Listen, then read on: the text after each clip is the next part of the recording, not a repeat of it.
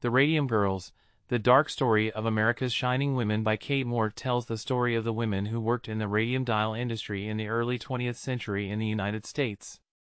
The book follows the journey of several of these women, who were primarily French and Italian immigrants, as they worked long hours painting watch dials with radium, or radioactive material.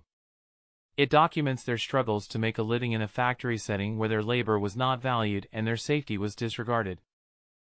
The book details the sad and tragic fate many of these women suffered as a result of their exposure to radium.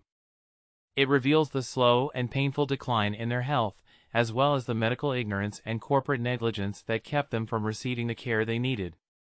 It also examines the legal battle waged by some of the women and their families in an attempt to hold the companies accountable for the damage done to their health. The book is a powerful and heartbreaking account of the courage and determination of these women in the face of overwhelming odds. It is also a testament to the strength of the human spirit, as well as a reminder of the need for greater workplace safety and responsible corporate behavior.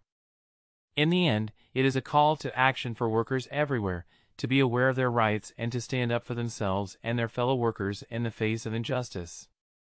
That's it. Thank you so much for tuning in.